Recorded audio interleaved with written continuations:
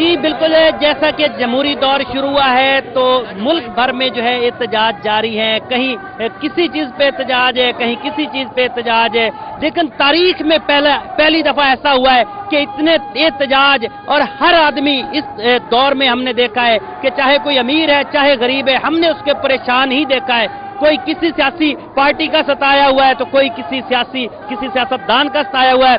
ये कमाड़ी के लोग हैं जो इस वक्त एहतजाज कर रहे हैं, जो मुतलका इनके एमएनए साहब हैं, उन उसके खिलाफ कर रहे हैं एहतजाज। इनका ये कहना है कि एमएनए साहब ने जो है सिर्फ़ अपने लोगों को नौकरियाँ दी हैं, हमने वोट दिए, उनको कामयाब किया, लेकिन एम एन ए साहब की जानब से हमें नौकरियाँ नहीं दी गई। इसी हवाले से बात करते हैं, यहाँ ये नहीं है, यहाँ नौजवान हैं, बूढ़े हैं, और आप ये पीछे मेरे देख सकते हैं खातन भी यहाँ पर मौजूद है।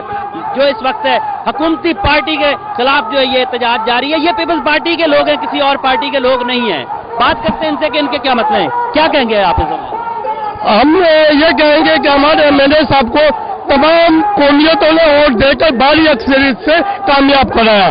पीपल्स पार्टी क्यामारी में क्यामारी से हमेशा कामयाब होती है।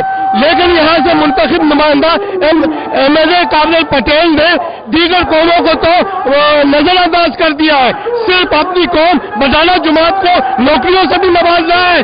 उनको मैयत तो बसें भी दे रहा है। उनको जनरेटर भी खरीद कर दे रहा है। लेकिन हमारी ये माए बेदे जो आपके सामने है, पार्टी के सीनियर है, और पार्टी के सीनियर कारकुन है, लेकिन इनको नौकरियों में नजरअंदाज किया, इनको रश्तों में भी नजरअंदाज किया हमारी बिल्कुल वो नहीं सुनता है। वो सिर्फ़ और सिर्फ़ अपने रिश्तेदारों को नवाज़ रहा है। आप क्या कहेंगे? आप क्या सर, हमारा सिर्फ़ इतना ही है कि देखें, कादिर पटेल साहब को हमने बड़ी मेहनत के साथ और गरीब लोगों ने वोट दे के अपनी गुर्बत को खत्म करने के लिए किया था कि चलो शायद ये हमारे लिए कुछ अच्छे दिन लाएँगे। लेकिन कादर पटेल साहब ने सिर्फ़ कच्ची मेमन और कच्ची बडाला जमात, अभी उनका कम्युनिटी हाल भी कच्ची बडाला जमात के लिए बन रहे हम तो ये करते हैं कि इंसाफ करो भाई, गरीबों को रुलाओ नहीं। गरीबों को तंग नहीं करो, जो पैसे मिलते थे बेनजीर। घर घर किराए पे हमारे, बच्चे छोटे छोटे हम लोगों की मजदूरी में पूरी नहीं होती है भाई। हम लोगों को शौक नहीं है कि हम लोग यहाँ आए हुए हैं ना। हम लोग जरदारी साहब से ये अपील है कि हमारे शोरों को नौकरी मिल जाए और हम गरीब आदमी को कहीं के ऐसा कोई ठिकाना कर दे। हम लोग किराए बारे नहीं बच सकते। इस वजह से कि हमारे को घर, मकान भाई, हम लोग पीपल्स पार्टी में काम किए, बच्चा मारा मारा फिर रहे ना इसको नौकरी मिली ना हम लोग को मिली, सब तो रिक्शे दे रहे, हम लोग को दिए हुए हम लोग भी काम किए। मेरा मियाँ इतना जी, ये नादरीन, आप देख सकते हैं कि इनको जो है, ये पीपल्स पार्टी के कारकुन हैं, पीपल्स पार्टी के वर्कर हैं, मगर आज ये एहतजाज करते हुए नज़र आ रहे हैं, क्योंकि इनके साथ कोई अच्छा सलूक नहीं किया गया। ये देखें नादरीन, आप देख सकते हैं कि ये पीपल्स पार्टी के कारकुन है, पीपल्स पार्टी का। जी। ही बड़ा है बड़ा बेटा बीस साल का वो मानव का काम नहीं है। आप क्या कहेंगे? हम पच्चीस तीस साल से उसके कारकुन में काम करे। हमने अपने बच्चों के लिए दरख्वास्त दी वो दी लेकिन कहीं नहीं। लेकिन हमारे एमएलए उन्होंने अपने चमचा चमचागिरी से सबको दिया। हम लोग पुराने कारकुन ये दरखास्त आप देख लें, मेरे पीर मंजिल लग की, नसीब निसार खोरो साहब की, कादर पटेल साहब की है, लेकिन उसने हमारे लिए कुछ नहीं किया।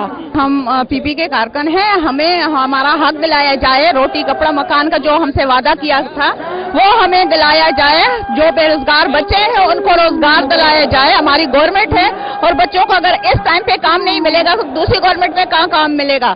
ये हमारी गवर्नमेंट है और हमें इन बच्चों को काम दिलाया जाए जो रिश्वत स्कीम निकली है वो गरीब लोगों तक पहुँचाए जो जिन लोगों को नौकरियाँ दी जा रही है क्या पैसे पैसे लेके दे रहे हैं सर ये ऐसा है कि हमारे यहाँ पैसे लेके दिए जा रहे हैं। पैसों की जॉब मिल रही है? हमें तो नहीं मिले। नहीं भाई नहीं मिलती है। बगैर पैसे की जॉब नहीं मिलती है।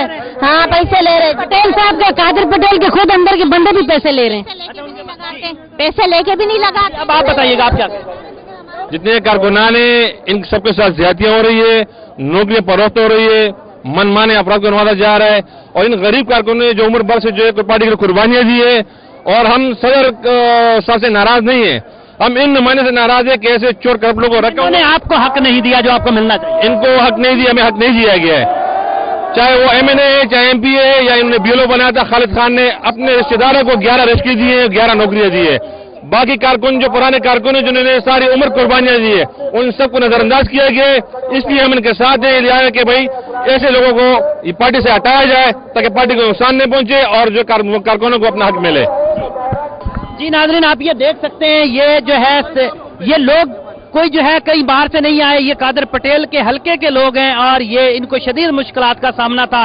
क्योंकि इनका ये कहना है कि हमें नौकरियाँ जो है नहीं मिल रही और नौकरियाँ हमारे हल्के में जो है अगर की भी गई हैं तो वो फरोख्त की गई हैं। ये जरदारी साहब के नाम पे, खुला खत है सदर पाकिस्तान के नाम पे। और इसके साथ मैं बताता चलूँ कि ये लोग जो है, ये लोग हैं, खासकर जो है, ये कादर पटेल के हल्के के लोग हैं। इनका किमाड़ी से तल्लक है और इन्होंने इल्ज़ाम आयद किया है कि कादर पटेल बगैर किसी जो है पैसों के बगैर किसी को नौकरी नहीं दे रहा। और हमें ऐसा लीडर नहीं चाहिए। उन्होंने जरदारी साहब से अपील की है कि ऐसे लोगों से हमें जो है छुटकारा दिलाया जाए।